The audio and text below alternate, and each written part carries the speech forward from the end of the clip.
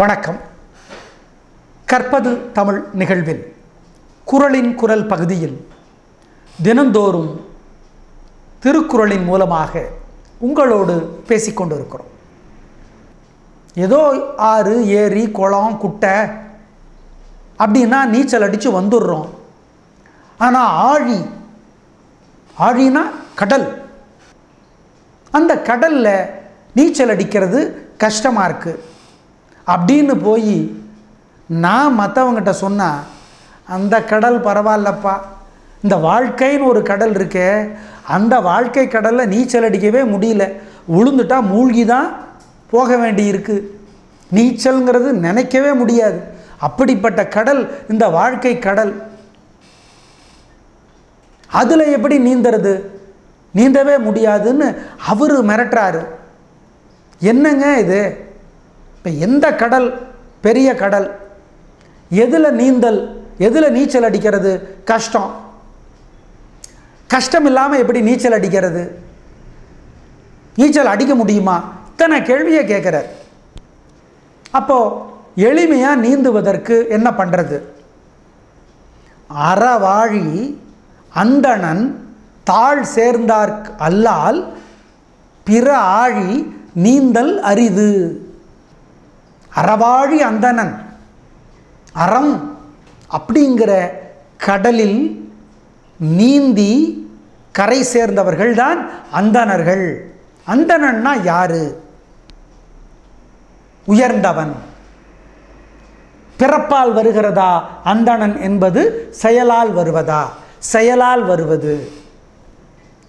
அந்தணன்னா யாரு? தன்னுடைய செயல்களால் சிறந்து விளங்குகிறவன். நியாயத்தின்படியும் சத்தியத்தின்படியும் தர்மத்தின்படியும் நடக்கிறவன் அந்தணன். அந்த அந்தணன் யாரு? அறவாழி அந்தணன். யாரு அறவாழி அந்தணன்? அறம் என்கிற கடலில் நீச்சல் அடித்து கரை கண்டவன். அப்படின்னா நியாயத்தின்படியும் தர்மத்தின்படியும் சத்தியத்தின்படியும் சிறந்து விளங்கி அதன்படி நடக்கிறவன். அவனுடைய தாழ் தாழ்னா பாதம்.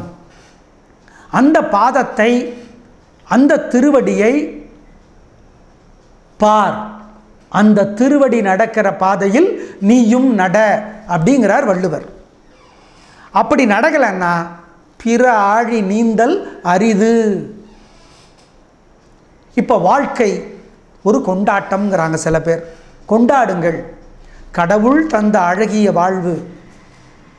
சந்தோஷமாயிரு கொண்டாடு. வாழ்க்கைங்கிறது ஒரு பயணம். நடத்து. பாதை வகுத்த பின்பு பயந்தென்ன லாபம்? பயணம் நடத்திவிடு தொலைந்திடும் பாவங்கிறாரு கவியரசர் கண்ணதாசன். அறவாழி கடவுள் என்ன சொல்றார்? இந்த வாழ்க்கையை இந்த குடும்பத்தை படிப்பை கடலாக நினைக்கிற மனித பிறவியை படைச்சிருக்கார். கடல்பா. அப்படிங்கிறார். சில பேர் சொல்கிறாங்க அவர் தமிழ் கடல் இவர் கல்வி கடல் இவர் அறிவு கடல் அப்படிங்கிறாங்க எது ஒன்றை ஆழம் காண முடியாதோ எளி எளிமையாக ஆழம் காண முடியாதோ அது கடல். வள்ளுவர் சொல்லுகிறார் அறவாழி அந்தணன் தாழ் சேர்ந்தார்க்கு அல்லால் அறம் சொல்லில் செயலில் வார்த்தையில் சிந்தனையில் தூய்மை. அதுதான் அறம். அப்படிப்பட்ட அறம் என்கிற கடலில் நீந்தி கரை சேர்ந்தவர்கள் தாழ் திருவடிகள். ஏன்னா நீச்சலுக்கு காலு முக்கியம். அப்போ நமக்கு வாழ்க்கையில் பலவிதமான கடல் இருக்கிறது.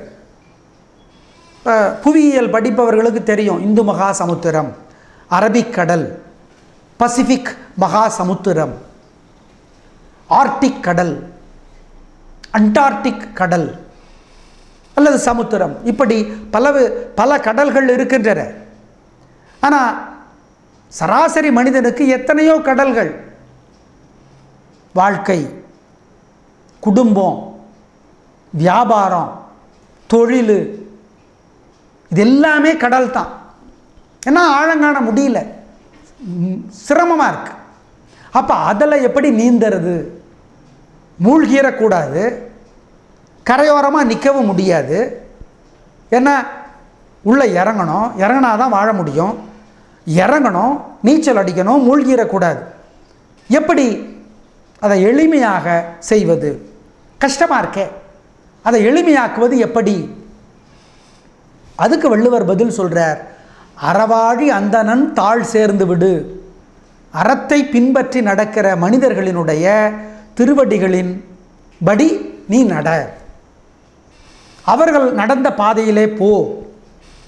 யானை நடந்த பாதையில் நாம் நடப்பது எளிது.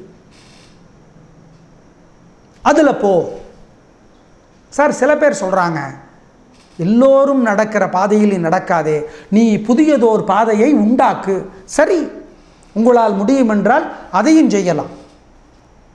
இப்போ நீங்கள் வாழ்க்கை உங்களுக்கு பல்வேறு விதமான கடல்களை உண்டாக்கி வைத்திருக்கிறது. அதில் நீங்கள் நீந்தணும்னா அற ஆழி அந்தணன் தாழ் சேர்ந்து விடுங்கள். இதை எப்படி வேணாலும் புரிஞ்சுக்கலாம். அறவாழி அந்தணன் யாரு? கடவுள். கடவுளுடைய திருவடிகளை பற்றி கொள்ளுங்கள்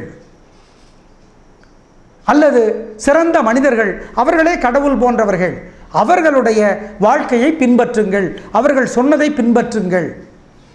கண்ணதாசன் சொன்னது மாதிரி நாங்கள் சொல்லுவதை செய்யுங்கள் செய்வதை செய்யாதீர்கள்னர். அப்போ அவங்க சொல்கிறத கொள்கையாக வைத்துக்கொண்டு பின்பற்றுங்கள்.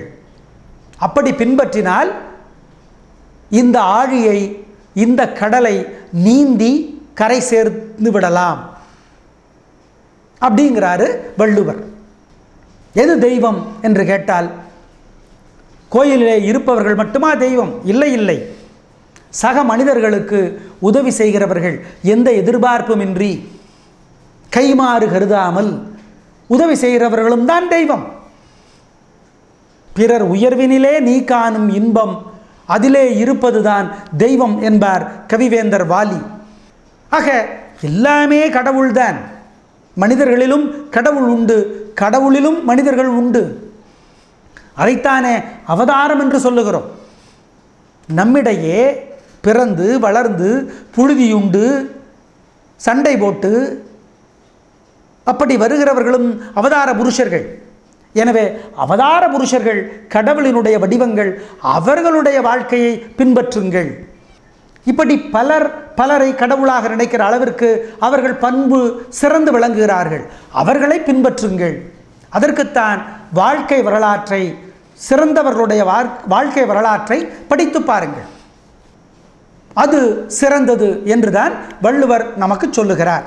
நாளை மறுபடியும் குரலின் குரல் பகுதியில் கற்பது தமிழ் நிகழ்விற்காக சந்திக்கலாம். நன்றி வணக்கம்.